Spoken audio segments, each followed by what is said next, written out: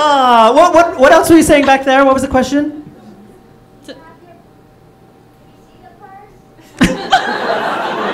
Just a second.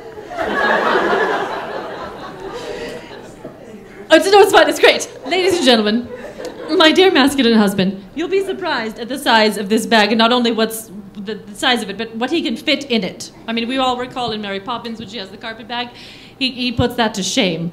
The man can stuff three moons over my hammies, the large sizes, a vest. I think actually he put in my wellies when there was a rainstorm. And also, of course, you know, what every man needs on the go. Perhaps, you know, his, his wallet, his ID, his face powder, that sort of thing. There it is! Yep. Yep. This is my only one, but this is the one that matched. Yes, yes, he has several. He has several. But um, this one he actually swiped from a baby shower.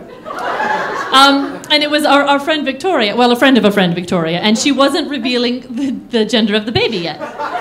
So it was, it was a big secret as to what Victoria's baby would be. That was the name, of the theme of the shower was Victoria's Secret.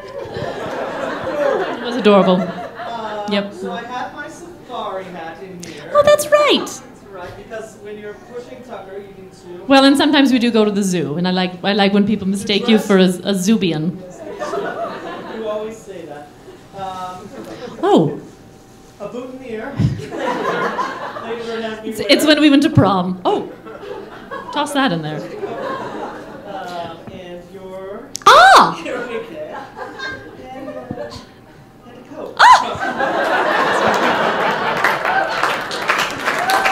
a coat. You, ladies and gentlemen, Harvey's handbag.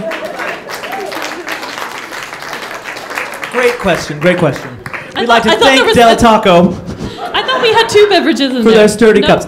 We did. One's a mess in there. so my purse is going to need cleaning. That's right. That's true. Yes. All right. Fair enough. Ah. So, so there it is. There it is. That's what's in my purse. Thank you. That's a great question.